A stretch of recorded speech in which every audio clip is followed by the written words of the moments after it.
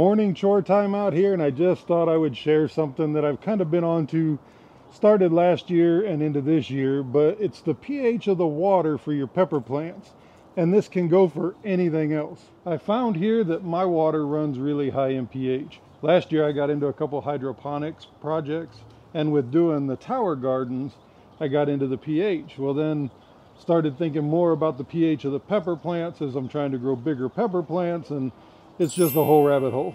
So I found that it's a lot easier just to go on Amazon and pick you up a 10 or $15 little pH meter. I've had this one for two years now and it's been great. Once you get it all set up, just turn it on. It's ready to roll. We're in pH mode.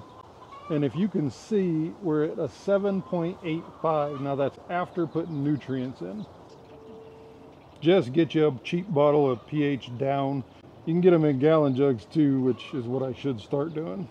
So watch this, put a tablespoon of that in and just stir it around for a little while. Normally I would fill it about a third of the way up, put the pH down in and then continue filling. And if the camera will pick that up, we just drop down to a 6.5. Now I'm not telling you how much it works or if it's worth it or not. I got into it last year. I've been doing it a little heavier this year. Next year I think I'll go all in with the plants that I'm trying to grow giant. Remember, you don't have to be a prepper to be prepared. And I will see you on the next one.